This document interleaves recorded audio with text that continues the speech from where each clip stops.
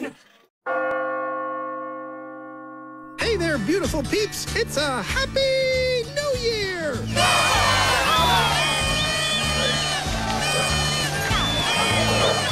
More Franklin is up next on this fabulously festive New Year's Day.